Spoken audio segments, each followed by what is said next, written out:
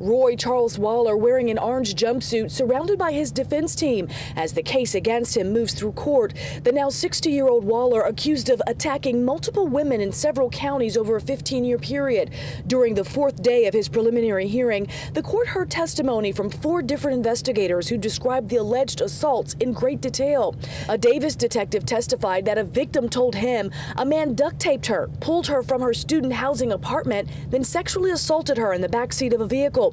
A now retired Sacramento police detective told the court in October 2006, a woman and her roommate reported being bound with duct tape, then sexually assaulted in their home.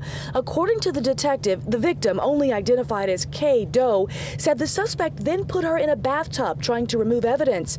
And a now retired Martinez detective described an incident on Halloween night, October 31st, 1996, that where a woman, S. Doe, told police she thought a knock on the door was trick or treaters. Instead, after she opened the door, a man wearing a mask forced his way in, bound, gagged her, removed all of her clothes, then sexually assaulted her.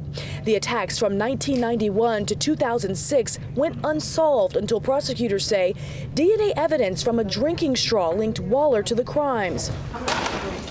During a break, attorneys didn't want to talk about the specifics of the case, but Waller's lawyer did explain that criminal laws from when the crimes were committed will play a major role in the case. Some of the incidents, for example, 91 or 92, the law was different than it was in 2006. And you can only be prosecuted under the law that was in effect at the time of the incident.